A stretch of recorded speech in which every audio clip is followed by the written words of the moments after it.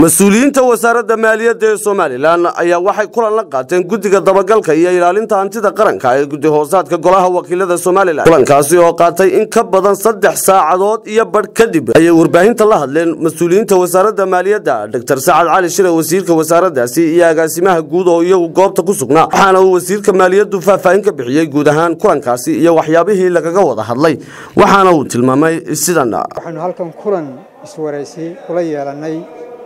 guddida back la yidhaahdo amba dabagalka maaliyadda qaranka waxaanu iska waraysanay howlo fara badan wadahadalkaasna wuxuu noogu dhacay jawi aad iyo aad u wanaagsan. Inakoo gudanayna xilkayaga ilaa adigu saddex saacadood iyo bar baan u malaynaya ayuu nagu qaatay si fiicanna waanu isu fahanay. Wada shaqayn wanaagsanna way naga dhexaysaa insha allah halkaas baanu ka sii wadi doona waxyaabo badan baanu dul marray oo isdul taagnay oo ku saabsan cashuuraha iyo maxaan idhahday wixii jira mataqaan xagga khadamaadka ay wasaaradaha qaadan hay'adaha qaar ay ka qaadaan dadka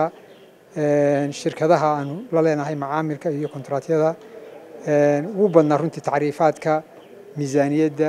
intii la doortay golaha wakiilada somalilan ayaa waxay noqonayaan in si khaas ah ay tahay markii koowaad ee wasiirka wasaaradda maaliyadda iyo guddida dabagalka ee guddi hoosaadka golaha wakiiladu ay kulan qaataan kaasi oo guud ahaan golaha wakiilada guddidooda dabagalku ay qaabilsan yihiin guud ahaan xaaladaha dhaqaalaha iyo waxqabadada kala duwan ee dalka. Waa maxamed cali xaashi telefishinka badda cas magaalada hargeysa.